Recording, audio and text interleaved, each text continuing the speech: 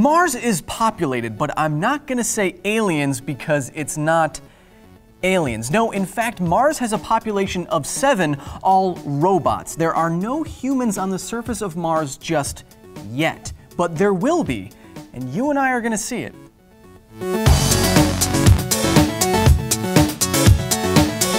We've all seen movies about humans stepping foot on Mars, but never one as dedicated to the science as The Martian, based on a novel by Andy Weir. In the film, astronaut Mark Watney is stranded on the red planet and has to science the crap out of his environment to survive. But before we worry about using our own poop to grow potatoes in the Martian soil, we actually have to put humans on that soil. First, think of how far we've come. If anyone is going to get us to Mars safely and reliably, it's probably going to be NASA. They even have a plan called Journey to Mars, and it's already begun.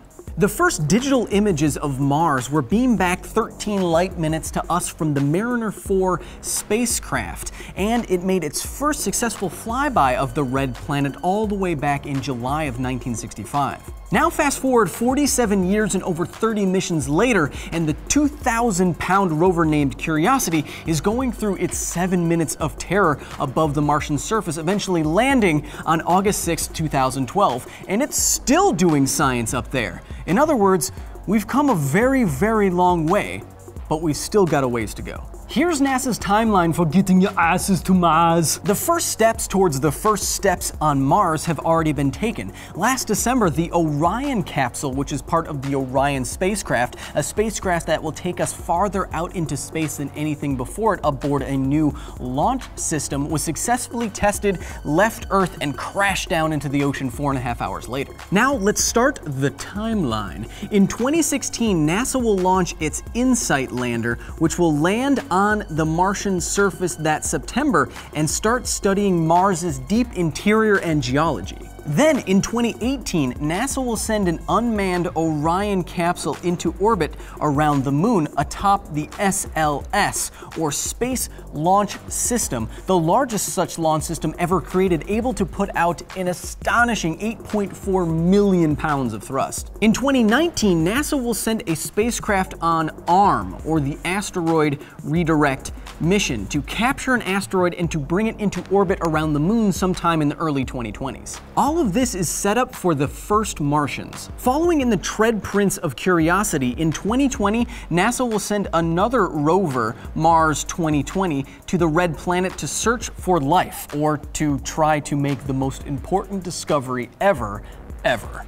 Then in the mid 2020s, NASA will first test and then send astronauts in the Orion spacecraft aboard the SLS into orbit around the moon to examine the asteroid that ARM recovered and then return with samples. And that's all we have planned for now. The next theoretical steps would be to master solar powered propulsion and to create some kind of in space habitat where Martian astronauts could go and prepare before actually stepping foot on the red planet. At least if NASA's Journey to Mars graphic is anything to go by. But that might not be so far away either, as NASA says that we will become Martians in the year 2035. That's not so far away. If NASA can intertwine science and exploration and technology in just the right way, there will be Martians in the next 20 years. Just think about it. The first humans to step foot on another planet have already been born and are just waiting to be humanity's greatest explorers. Unless Elon Musk can get us there in the next 10 years, which he claims, and then forget most of what I just said. Why? Because Musk?